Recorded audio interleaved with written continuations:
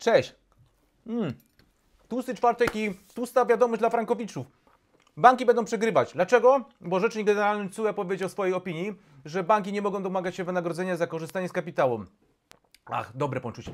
I co to oznacza dla Ciebie? Że musisz teraz pozwać bank i wygrać wszystko. Nie daj się okradać bankom.